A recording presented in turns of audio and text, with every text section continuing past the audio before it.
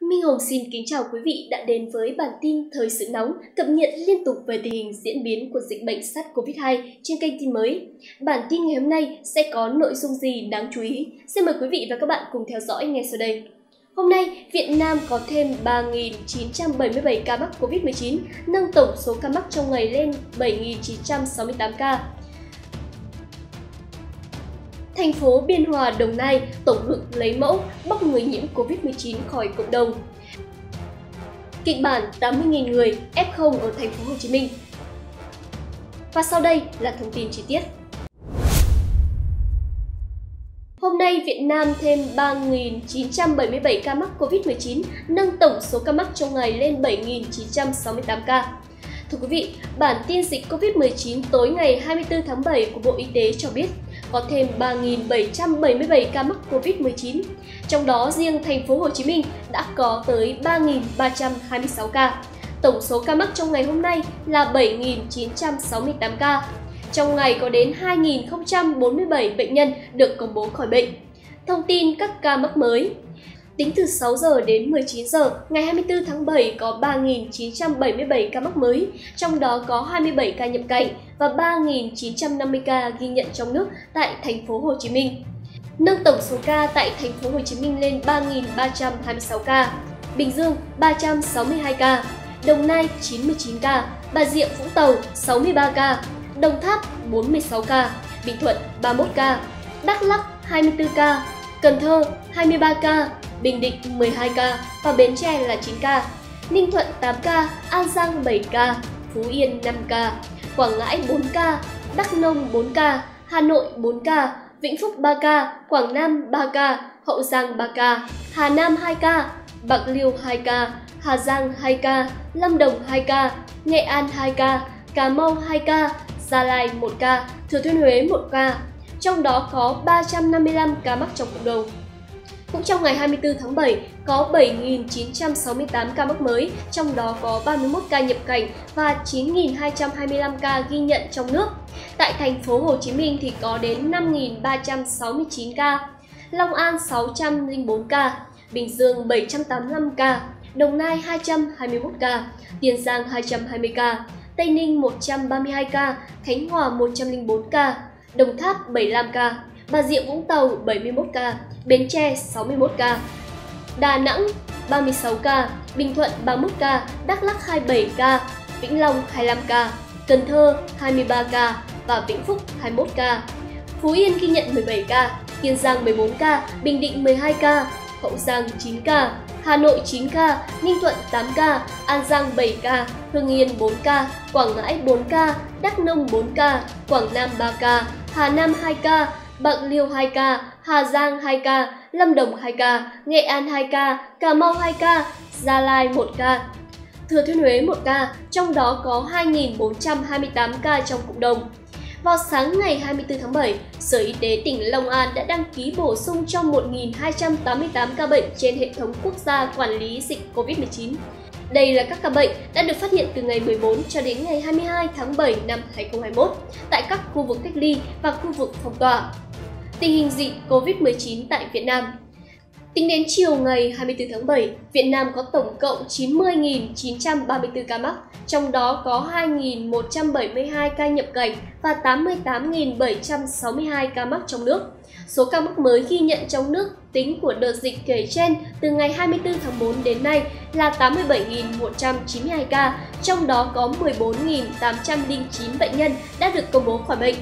có 8 trên 62 tỉnh thành phố đã qua 14 ngày không ghi nhận trường hợp mắc mới, đó là Yên Bái, Quảng Trị, Tuyên Quang, Thái Nguyên, Điện Biên, Hải Dương, Quảng Ninh và Bắc Cạn. Tình hình điều trị có 2.047 bệnh nhân được công bố khỏi bệnh trong ngày 24 tháng 7. Tổng số ca được điều trị khỏi ở thời điểm hiện tại là 17.583 ca. Số bệnh nhân nặng đang điều trị ICU là 130 ca số bệnh nhân nguy kịch đang điều trị ICMO là 17 ca. Tình hình xét nghiệm trong 24 giờ qua đã thực hiện 98.990 xét nghiệm cho 410.862 lượt người. số lượng xét nghiệm từ ngày 27 tháng 4 năm 2021 đến nay đã thực hiện hơn 5 triệu 107.861 mẫu cho 14 triệu 391.096 lượt người. Tình hình tiêm chủng Tổng số liều vaccine đã được tiêm là 4 triệu 478.757 liều, trong đó tiêm một mũi là 4 triệu 125.156 liều, tiêm mũi 2 là 356.601 liều những hoạt động của ngành y tế trong ngày. Bộ phận thường trực đặc biệt phòng chống dịch Covid-19 của Bộ Y tế tại thành phố Hồ Chí Minh đã gửi Ủy ban nhân dân thành phố Hồ Chí Minh trong công văn số 5929 BIT KCB ngày 23 tháng 7 đề xuất với một số nội dung về việc quản lý người nghi nhiễm và người nhiễm virus SARS-CoV-2 trên địa bàn thành phố Hồ Chí Minh tiếp tục thực hiện hiệu quả mục tiêu kép, triển khai các phương án vừa chống dịch, vừa tiến hành sản xuất theo phương châm ba tại chỗ, đảm bảo an sinh xã hội, cung ứng hàng hóa thiết yếu cho người dân, nhất là các đối tượng người lao động, người bị ảnh hưởng tiêu cực do dịch bệnh. Chủ động xây dựng kế hoạch tổ chức chiến dịch tiêm chủng, tập huấn an toàn, tuyên chủng, quy trình tiêm chủng để đảm bảo tiêm an toàn, không để lây nhiễm tại các điểm tiêm chủng,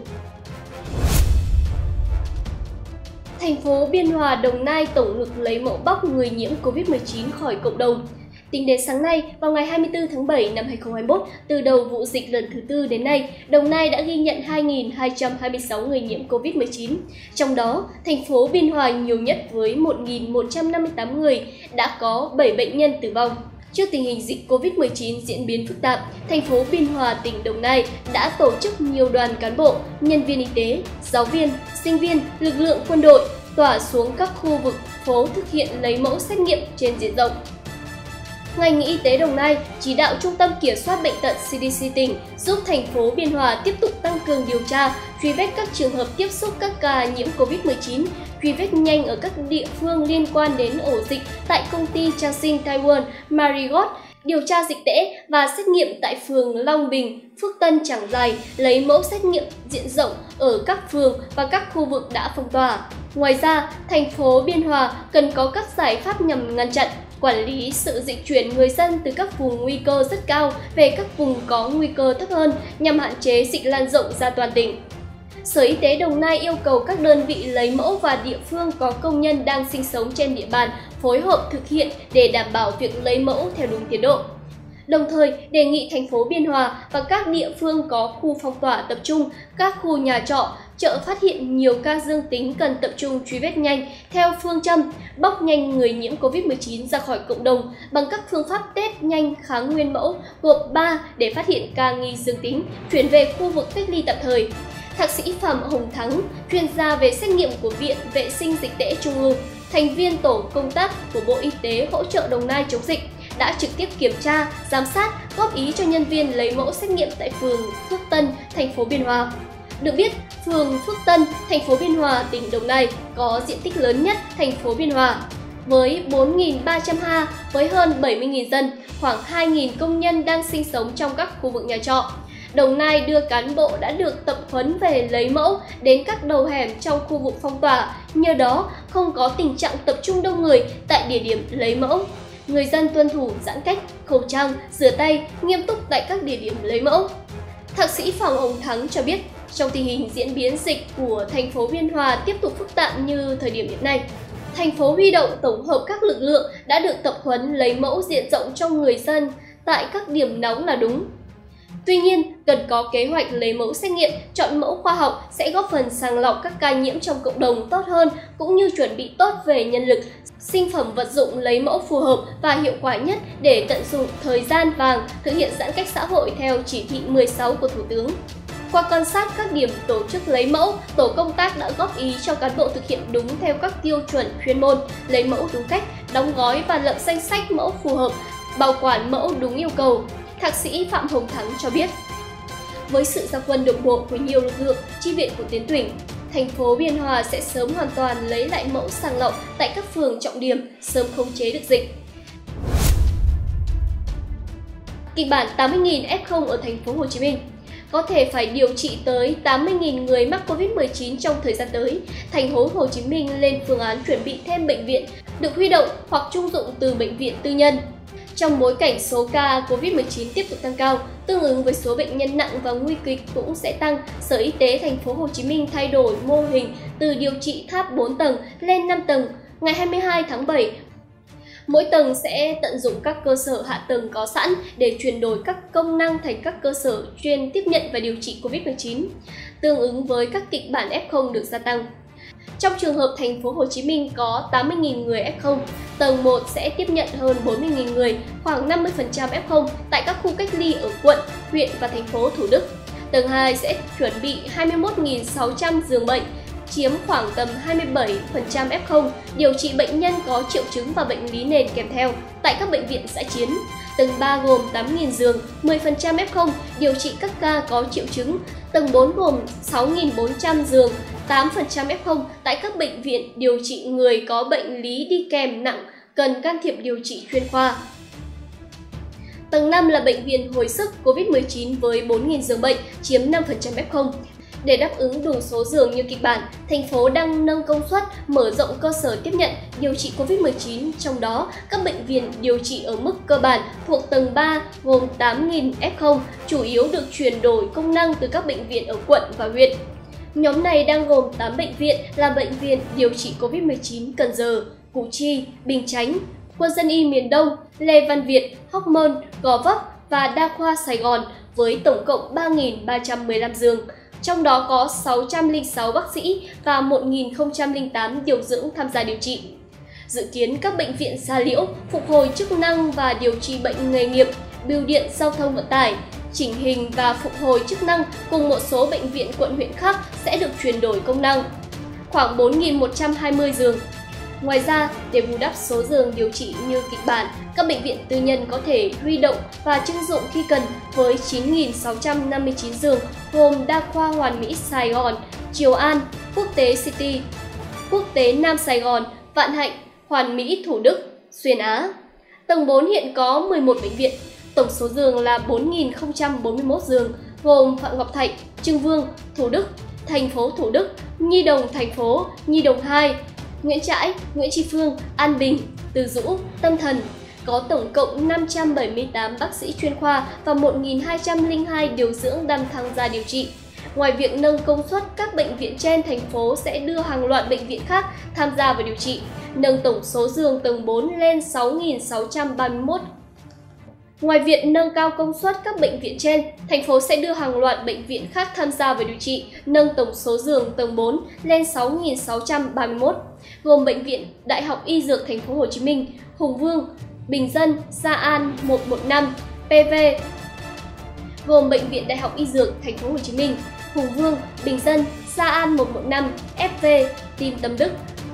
Hiện thành phố Hồ Chí Minh có 4 bệnh viện hồi sức COVID-19 thuộc tầng 5 với 1.800 giường gồm trợ rẫy, bệnh viện nhiệt đới, hồi sức COVID-19, quân y 175. Các cơ sở này được trang bị đầy đủ phương tiện hồi sức hiện đại,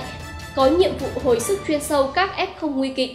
Dự kiến Bệnh viện Nhân dân Gia Định và Nhân dân 115 sẽ tham gia điều trị bệnh nhân ở tầng này. Nhân lực ở tầng 5 là các bác sĩ chuyên khoa cấp cứu hoặc các bác sĩ đa khoa được đào tạo ngắn hạn về cấp cứu, hồi sức có khả năng thực hiện triển khai các kỹ thuật chuyên sâu như thở máy chức năng cao, lọc máu liên tục, MCMO, hồi sức chống sốc, điều dưỡng chăm sóc có trình độ cao đẳng trở lên, có kinh nghiệm về hồi sức cấp cứu. Khó khăn chung của các bệnh viện tầng 5 là thiếu nhân lực bác sĩ chuyên khoa cấp cứu, hồi sức theo số giường đã được phân công. Theo đó, thành phố Hồ Chí Minh đang tăng cường nguồn chi viện từ các tỉnh thành do Bộ Y tế điều động đẩy mạnh tập huấn ngắn hạn chuyên đề về hồi sức F0 nặng và nguy kịch. Sở Y tế thành phố Hồ Chí Minh sắp xếp ít nhất một bác sĩ, hai điều dưỡng chăm sóc và theo dõi mỗi 50 đến 100 F0 tại tầng 1, mỗi 25 F0 tại tầng 2, mỗi 20 F0 tại tầng 3, mỗi 10 F0 tại tầng 4 và mỗi 5 F0 tại tầng 5. Theo Trung tâm Kiểm soát bệnh tật thành phố Hồ Chí Minh, theo Trung tâm Kiểm soát bệnh tật thành phố Hồ Chí Minh, sáng ngày 24 tháng 7, bệnh viện thành phố Hồ Chí Minh điều trị cho 37.407 bệnh nhân dương tính, bao gồm kết quả xét nghiệm PCR, xét nghiệm nhanh dương tính. Trong đó có 619 ca bệnh nặng đang phải thở máy và 12 bệnh nhân can thiệp ICMO. Đến nay, thành phố ghi nhận 469 bệnh nhân tử vong trong đợt bùng phát dịch thứ tư, thành phố Hồ Chí Minh nhiều lần thay đổi kịch bản và mô hình chống dịch. Vào tháng 5 khi mới ghi nhận 3 ca nhiễm, thành phố Hồ Chí Minh xây dựng 3 kịch bản y tế ứng phó trong tình huống nghiêm trọng nhất là 5.000 ca bệnh. Rất nhanh sau đó, số ca nhiễm của thành phố đã vượt xa tình huống này. Ngành y tế áp dụng chiến lược tháp 3 tầng vào điều trị, chuẩn bị kịch bản 50.000 giường điều trị. Sau nửa tháng, mô hình tháp 4 tầng được thay thế trước tình trạng lượng bệnh nhân tăng gần 500%. Trên đây là những thông tin tổng hợp chi tiết, những nội dung nổi bật trong ngày của kênh tin mới. Cảm ơn quý vị và các bạn đã chú ý theo dõi tới cuối video này. Mọi ý kiến đóng góp của quý vị hãy để lại trong phần bình luận phía dưới để đội ngũ của chúng tôi có thể kịp thời hồi đáp. Kính chào quý vị và hẹn gặp lại!